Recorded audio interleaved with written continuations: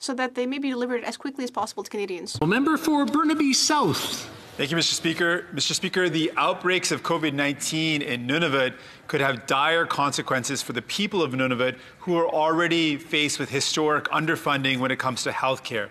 We've written a letter to the Prime Minister asking the Prime Minister to deliver all help necessary, including more protective equipment and more testing to help the people of Nunavut. Will the Prime Minister commit to doing everything within his power to help protect the people of Nunavut?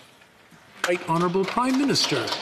Yes, Mr. Speaker. From the very beginning, we've been working closely with the Northern Premiers, including Premier Savikataaq of uh, Nunavut, to ensure that they get all the support they need. We've ensured that northern remote communities have the resources they need with 3,792 rapid tests shipped, with 771,000 items of PPE shipped, $13 million through the Safe Restart Agreement, $130 million in funding, federal funding to address health, economic, transportation priorities across the three territories. Uh, I'm in regular communication with the Nunavut government. I spoke to the Premier last week, and we're continuing to assist the government any way necessary. Well, member for Burnaby South.